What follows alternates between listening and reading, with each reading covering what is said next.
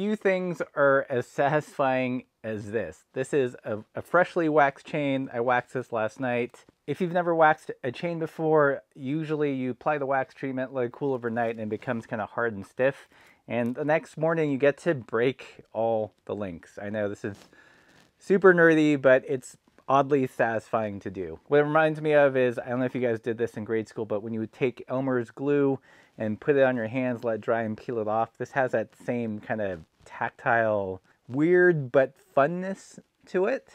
Usually I would take a dowel and kind of run this through a small radius dowel or something. But for the purposes of this video, since that would be kind of awkward to film, I'm just to do it by hand. And I'm also to give you guys a little bit of an update on my experience with chain waxing so far. If there's one thing I've learned about chain waxing or making a video about chain waxing is that many people have many different opinions. And I'm to state right off the bat that this isn't for everybody. It takes some time, it takes some investment, and for some people the convenience of just using a typical wet lube outweighs any benefits of using chain wax. So I'm not saying you should do it, but these are the reasons why I've been doing it and a little bit about my experience so far.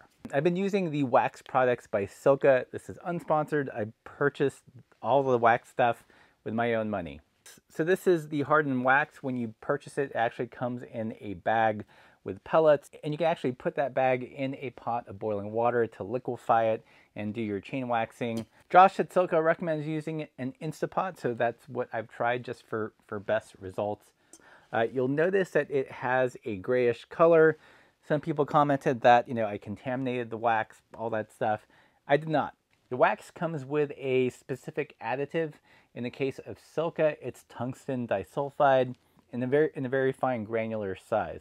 I know it's a thing for people to mix up their own uh, chain wax using PTFE. I didn't feel like going all Breaking Bad just to wax a chain. So I bought the Silca stuff because it already has the additive. I don't have to do all the other science things. The tungsten disulfide in this case is very tenacious. It attaches itself to, to metals. It, it works its way into all the nooks and crannies of your chain. And to my understanding, that is what acts as the kind of, uh, I don't want to say lubricant, but friction decreasing substance, if you will when you first get a chain, uh, you have to remove all the factory oils. That's, there's a whole process with solvents and degreasers. And after that, you liquefy the wax, you put the chain in there, and then you hang it up to cool off, wherein you get the stiff uh, chain that I showed you earlier in the video that you then break apart and then put on your bike. And I know what you're thinking, gosh darn it, that's a real pain in the ass. I don't want to have to do that every 100 miles. And here's the thing, you don't have to. Silka makes another product. This is a kind of liquefied version of their regular wax. It's in a alcohol emulsion that then evaporates. But basically, after you've done the initial hot wax uh, treatment, you can do maintenance treatments, which is just as easy as using regular wet lubes. So with like any other lube, after you've done the initial treatment, um, every couple hundred miles, you would drip you would drip this on one drop per link just like any other wet lube. Again, this has the same additive, which is the nano tungsten disulfide. It says there on the label, for some reason, people in the comments always want to fight about what's in the wax. That's what it is. Tungsten disulfide. It's not PTFE. There's many reasons to wax your chain. Some people do it for the marginal speed gains that I'm not really interested in. Uh, the biggest reason I started waxing is because it supposedly helps prevent wear. It prevents wear on your chain and therefore your drivetrain.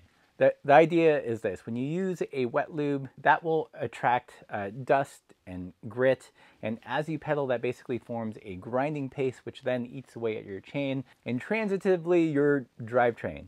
Things like supply chain issues and just inflation and the price of components going up, I thought waxing would generally be cheap insurance uh, just to make sure the drivetrain lasts longer. On all my personal bikes, I have changed to a wax chain system.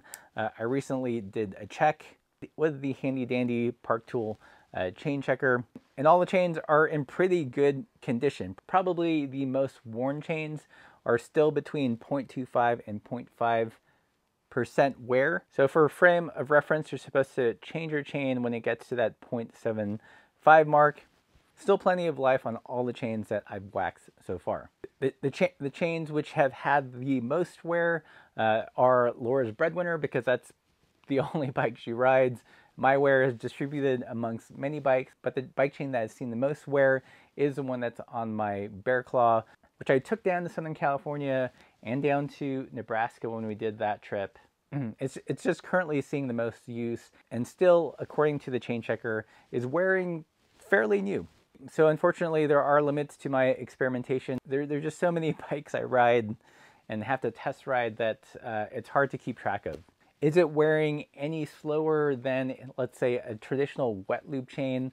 I can't say conclusively because I've not been tracking that data. But so far at this rate, I should get at least another year, if not another two years, uh, out of the chain on the Bear Claw.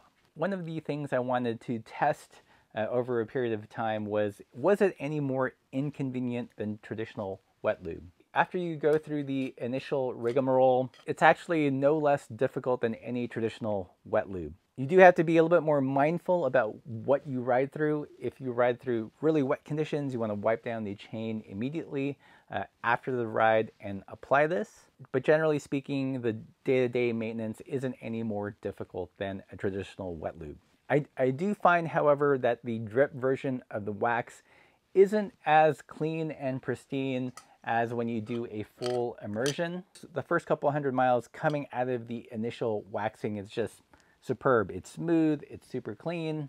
Previous touch-ups with the drip version still maintain that smoothness, but when you wipe your finger on the chain, it's not as clean. So what I found is for best results, use the immersion, tune it up for a couple hundred miles, maybe a thousand miles. And then at that point, I would probably do another uh, kind of full wax immersion treatment. Remember, you don't have to do this like every week or, or every month if you don't want to. This is just to do that deep initial cleanse, and then you can maintain it with this stuff. Uh, another big question was cost. Is it worth it? Uh, there is a little bit of initial investment in terms of time, and if you don't have a crock pot or Instapot, but I think the, the price generally balances out. What, what you are spending more of is time in that initial cleaning. Another thing I should state, after You've done that initial pass with all the solvents to remove the factory grease. In, su in subsequent uh, full wax immersions, you don't have to do it because you have all that factory grease out already. So you literally just you know get this liquefied, drop this in there, and then hang it up to cool. With the wax chains, we've ridden in some wet and muddy and also dusty and dry environments. I, ro I rode a wax chain when we went down to Nebraska. We had a full-on full Midwestern storm, lots of rain, lots of mud. And at the end of the ride, I did a quick uh, finger sweep. You can see how clean the chain was. It was pretty awesome. Some people brought up the issue of their chains rusting when they do uh, a wax chain treatment. If you live in a super wet environment, it's, it's, it's pretty paramount to dry your chain after each ride and reapply this stuff. And if you don't want to hassle with that, then this probably isn't for you. We live in a semi-arid environment, eh, and the thing that we're contending mostly with is dust. And this does a good job at not attracting more dust to the chain because it is a dry lube and, and therefore doesn't create a grinding paste and eat away at the chain and your drivetrain, all that stuff. So is it worth it? Am I gonna continue doing it? I think so far it hasn't made my riding experience any worse or the maintenance experience any worse. I do like the peace of mind that it's, you know, not attracting dirt, not creating grinding paste, and not eating away at increasingly more expensive and hard to find components. So I think for that reason alone, I'm to continue doing it so far. I may set up a bike as a control with wet lube and see if the wear uh, is any quicker. But again, it's hard to do. I have lots of bikes. I ride many bikes all the time. So the wear is distributed um, across several bikes. But what I found so far, it's not a detriment to my riding experience. Maintenance labor, there is some upfront costs, if you will. But after that, it's about par with a petroleum wet lube. The purpose of this my chain waxing experiments isn't to persuade you to wax your chain. I actually don't care if you do or if you don't, if you use WD-40 or, or olive oil or whatever other weird things people suggest. I'm just sharing my experience so far with chain waxing and kind of explaining is it more difficult? Why I went with the Silca stuff? Again, I know it's a thing to homebrew uh, chain wax. I don't want to deal with it. Honestly, this is a pain in the butt enough for me. So adding the time, money, and stress of tracking down PTFE, making the right mix, all that stuff, I, no thanks. But this stuff, pretty easy. And for the foreseeable future, I think I'm going to keep doing it. If you learned something in today's video, please consider supporting the channel by joining us on Patreon. Uh, Patreon supporters actually get a discount off of the Silca stuff. I do want to stress we're not getting paid if you, you buy stuff, and I bought this with my own money, but the folks at Silca like the channel and want to pass on a little perk to our Patreon supporters. And if you don't want to do that, uh, consider buying a sticker or a patch. That's what keeps this channel going. We don't have the GCN money quite yet. So thanks everybody and keep the supple side down.